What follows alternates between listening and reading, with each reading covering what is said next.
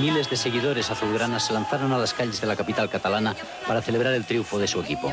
El centro de la ciudad quedó colapsado. Los seguidores del equipo catalán transformaban en euforia colectiva la tensión con la que a lo largo de 120 minutos habían seguido el partido jugado en Wembley. El Barcelona inscribe su nombre entre los grandes de Europa. El título que hoy han conseguido solo está reservado para unos pocos.